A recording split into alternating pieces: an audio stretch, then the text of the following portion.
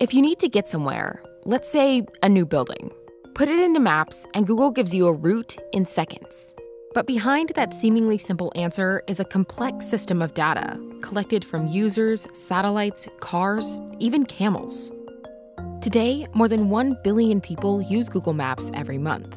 And in 17 years, it's evolved from a desktop application to a massive mobile platform that continuously updates information about a location. We have over 150 million people around the world that are contributing information with 50 million updates a day coming from the community, from the public sector. So think of the map as being alive. But the amount of data it collects has also attracted criticism from privacy experts.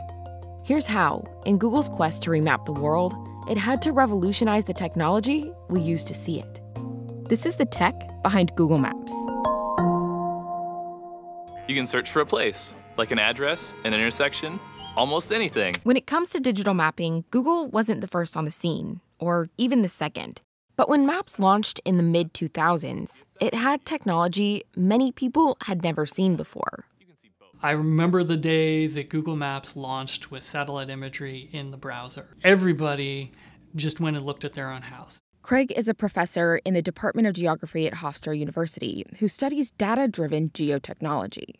No one had ever seen their own house in satellite imagery, much less in color satellite imagery before. This was a new view on the world. Map's success was partly due to acquisitions it made early on, like Where2 Technologies and Keyhole, that made mapping more accessible to consumers. By buying Keyhole, they got the software that it took to have a easy, ready-to-use satellite imagery viewer on a global scale, Where2 Technologies provided them a much better user interface than was available elsewhere. And by combining those with just the sheer amount of capital at Google allowed them to spend in ways and develop those further that you didn't see before.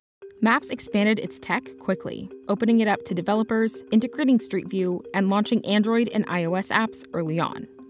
But how exactly did all of this come together to get you from point A to point B? Christopher Phillips, the current head of Google's Geo division, gave us an inside look on the Google campus. The foundational piece was to have a real world model, the digital truth of what's going on in the real world, including where streets are. Let's take a look at a real route in San Francisco that Chris walked us through. Let's say I'm in the San Francisco Ferry Building, the farmer's market, and I need to get to San Francisco International Airport. To get that real world model Chris was talking about, Google starts with satellite and aerial imagery to create an accurate map. This is layered together with data from Street View. To do this, they use a process called photogrammetry. Using this and GPS data, they can pinpoint the right coordinates for the image. If we take a quick detour off our route to France, you can see what the layering process looks like using the Arc de Triomphe. Think of it as a big jigsaw puzzle where we can put these images together and we understand the distance between images and where they sit with the actual location, the GPS location. Google keeps a range of the cameras that have been used over time to capture imagery at the Street View garage on its campus in California. It all started with a 500 pound camera that was forklift onto a van. You may have seen a Street View car at some point with a 360 degree camera on top. Some versions are equipped with LiDAR sensors, which measure the distance from the camera to objects around it. They're also equipped with GPS to get an accurate location for exactly where the camera is positioned. But to reach more remote places, they've adapted cameras to fit the terrain. Google has put cameras on backpacks to get to places that cars can't go. They've also used transportation like bikes and snowmobiles. In some rarer cases, Google has gotten images from camels, divers, and even astronauts. Their newest camera can be detached from cars to be carried around. We graduate to our most recent, which is a 15 pound, very lightweight, and that can be powered off of a phone versus a large computing unit that's in the car. This imagery isn't just for looking at. It actually helps keep their maps up to date by detecting changes since the last time images were taken. We are not just capturing what a place looks like, but we can detect that a business might have changed we can detect new signs. There's now a stop sign here or a traffic light here. So understanding new physical attributes of the real world is what we've been able to derive. Once they have all the information they need to figure out what the map looks like, Google layers on info about traffic, routes, and businesses. To do this, they get data from local municipalities, public bus and train schedules, and businesses themselves. This is footage from 2013 of the software Google still uses to edit maps. A combination of machine learning and map operators edit the public data, like road networks, to match exactly what you see on the layered imagery. Since 2013, Google says they've been able to automate most of this process. So, for Chris's route from San Francisco's ferry building to the airport, right now, I can see that it's going to take 21 minutes. In order to predict how long it takes to get somewhere or how busy a place is, Google relies on reviews, contributed information, and anonymized location data, and uses algorithms to comb through historical traffic patterns. It looks at current trends based on your anonymous location, aggregated with millions of other users.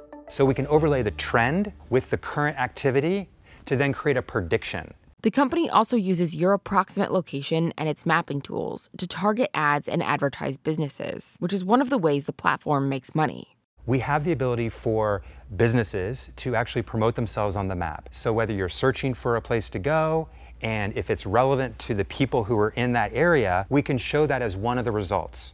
So far, Google has mapped more than 250 countries and territories. But as it's added more data and ingrained itself in our lives and culture, users and regulators have pushed back and demanded guardrails. Privacy is a big issue with any kind of geographic technology, and Google Maps is only so much more so. Because Google Maps is down to an individual street address, down to individual people when we connect it to things like your Gmail account or your wallet uh, or your Wi Fi network. Google has been criticized and in some cases taken to court for things like the amount of data it collects, Street View images showing private property, and grabbing data from unsecured Wi Fi networks with Street View cars.